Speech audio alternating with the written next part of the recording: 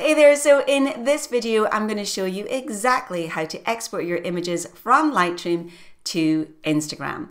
Now, if you've been finding that your images look fantastic in Lightroom, but then when you upload them to Instagram, they look crunchy or pixelated, or they've just got this really weird color vibe going on, then this is definitely the video for you. I'm going to walk you through step by step, setting by setting, exactly what you need to do to export your images for Instagram. Now, do make sure that you stick around until the end because I've got a little bonus for you that I think you're going to love. But for now, let's dive into Lightroom and I'll show you how it's done.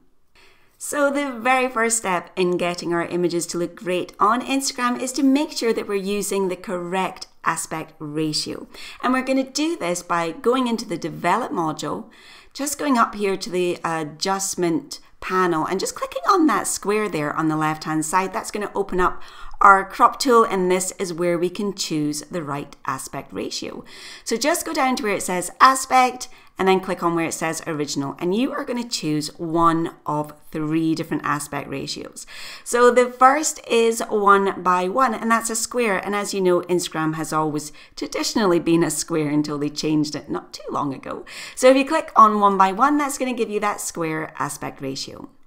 The other aspect ratio you can use is one for landscapes, and Instagram has a very specific number in mind for this.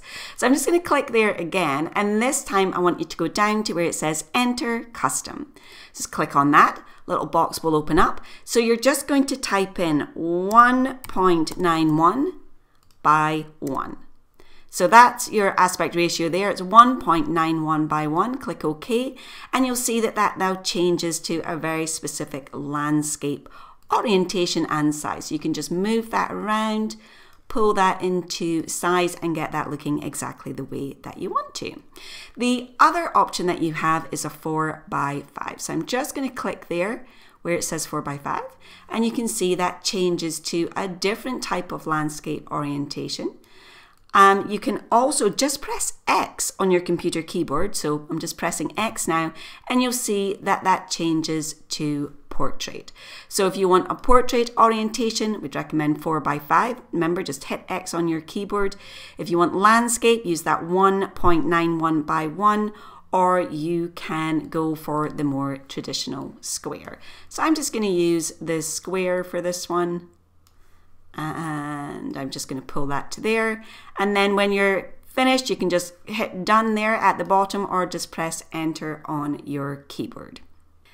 So once you're finished there, you're ready to move back to the library module and click on the export button to open up the export dialog box. And this is where you can move on to the second step, which is to choose the file location and name.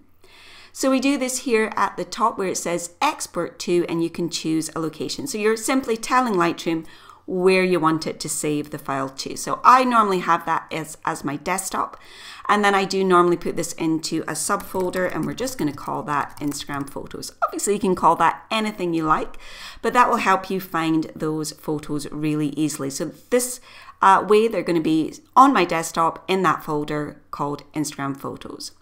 Now, if you wish, you can also rename those files. So you can choose there. I've got different presets already set up um, and you can just change that. So for example, if it was for a particular client, you could put in their name there, for example. So once you have your export location and your file naming done, we can move on to step three, which is to change the file settings. So again, we're in the export dialog box. We're basically skipping video because this isn't a video we're uploading. It is an image. So we can go right down here to file settings. So image format is always going to be JPEG and the color space is always going to be sRGB. Now, if you choose something like Adobe RGB or ProPhoto RGB, your images are going to look kind of gray and dull and wonky. It's not going to look anything like you thought it would. So always make sure that you choose sRGB. So important. Now for quality, we're actually going to move this down from 100 and we're going to move this down to 76. Now, apparently, that number is perfect for uploading to Instagram to make sure that they don't actually try and compress it. So, quality there at 76, and you want to make sure that this limit file size is unchecked. Step number four is your image sizing. So again, you're just going to move down to this next section, which is image sizing. And we're going to check this box here that says resize to fit and make sure that we have long edge selected. And we are actually going to change this to one of two numbers depending on the aspect ratio that you choose. So if you chose a square for your aspect ratio or that 4 by 5 portrait, then you can change this to 1200 on your pixels. Now, if you chose that landscape aspect ratio of that 1.91 by 1, then you are going to actually change this from 1200 and choose 1080 instead. Now for either of these, you're going to have that resolution at 72 pixels per inch. Now I'm just going to go back and change that to 1200 since I had a square. And again, we're just going to keep that at 72 pixels per inch. And the next step is to apply any output sharpening. So you can choose to just check this box here that says sharpen for and make sure that that is screen that you have selected. And you can change this amount. Now, either standard or high. It's going to depend on whether you kind of applied sharpening back in your editing. Um, if you did, you might just want to choose standard. If not, choose high. Now you can play with this and see what you prefer. I generally tend to keep this at standard. And our final one is metadata watermarking and post processing. So, metadata, if you choose kind of different things like the camera, raw info, etc., or all metadata, then you're going to have things there like the date that it was shot, the the you know camera settings and so on. So I do tend to make this copyright information only. That means the only information that's being uploaded with my image is the copyright contact information. None of that kind of what aperture I was using or whether I shot in raw or ISO settings or what date it was shot just copyright only watermarking you're not going to watermark your images. So you can actually make sure that you have that unchecked. You don't want to watermark your images for Instagram.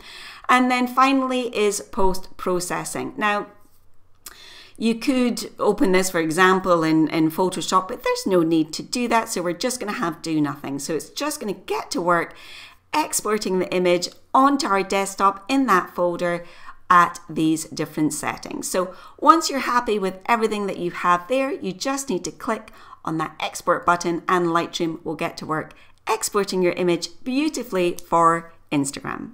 So if all that made sense for you, then just give me a yes in the comments below. But equally, if you have any questions, you can leave them there too. Now, I do have something for you if you're kind of new to Lightroom. It's my Lightroom Starter Kit. It's totally free and it's got loads of goodies to help you get started off in the right foot with Lightroom. We've got important checklist, an editing step-by-step -step guide, and even some Lightroom presets to get you going. So you'll find a link to that in the description below. So if you like this video, please hit that like button below, share with your friends, and be sure to hit the red subscribe button as well. And you can even click on that little bell to make sure that you're notified each time that we post a new video. So that's it from me today. Thanks so much for being here, and I'll see you in the next one.